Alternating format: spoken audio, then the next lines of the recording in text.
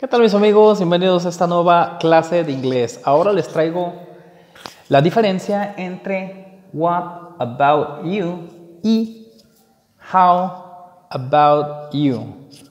La primera yo la traduzco o se interpreta como y tú, pero ¿qué acerca de ti? Y la segunda, ¿cómo? ¿Cómo acerca de ti? Vamos a ver los ejemplos para poder entenderlo. My name is Kike. Mi nombre es Kike. What about you? ¿Y tú? O sea, aquí estoy hablando sobre un qué. ¿Cuál es ese qué? Ese qué es el nombre. Me estoy presentando. Entonces, para no preguntar eh, what is your name, simplemente digo what about you? ¿Y tú?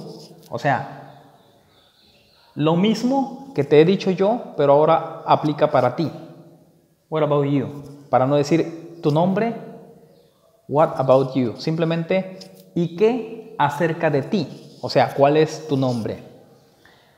Vamos ahora con how about you. I feel terrible. Me siento terrible. How about you? ¿Y cómo acerca de ti? Si te fijas, el what about you corresponde a un qué, en este caso el nombre. El how about you corresponde a un cómo, en este caso el estado de ánimo, cómo me siento o cómo te sientes. Para no preguntar how do you feel, simplemente decimos how about you. O sea, quiero saber algo de tu estado de ánimo o de cómo te sientes. En mi caso, I feel terrible. How about you? ¿Cómo te sientes tú? O sea, ¿y cómo acerca de ti? Acá es ¿y qué acerca de ti?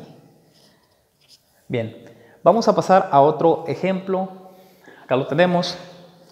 En el caso de How about you? How are you? ¿Cómo estás? Are you sick? ¿Estás enfermo?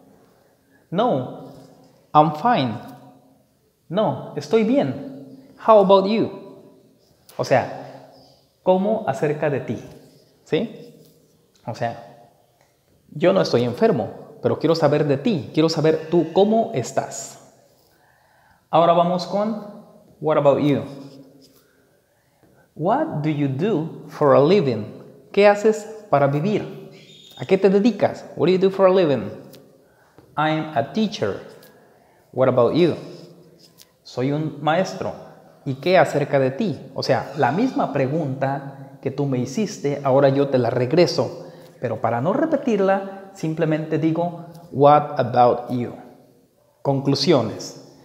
El how about you corresponde a un cómo de la situación, de cualquier cosa que implique una opinión o un cómo, simplemente que demande una situación de opinión o de un estado de ánimo o de un cómo sobre cualquier situación. Y el what about you corresponde a un qué. Demanda una pregunta, puede ser en el presente o una pregunta en el futuro. Por ejemplo, eh, I don't want to go to the movies. No quiero ir al cine. What about you? ¿Y tú? O sea, ¿tú quieres ir al cine? Demanda una pregunta sobre algo que va a ocurrir, sobre algo, sobre un plan, ¿sí? Sobre algo que se quiere hacer. I don't want to go to the movies. No quiero ir al cine. What about you? Así de fácil. Bien, amigos, este es un tema bastante sencillo.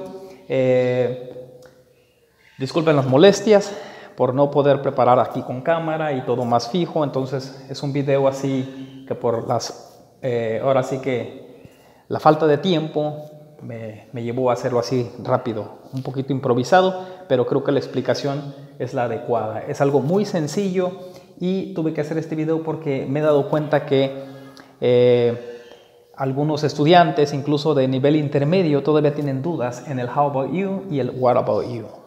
Así de que espero que con este video les haya quedado resueltas sus dudas. Nos vemos hasta la próxima. Adiós.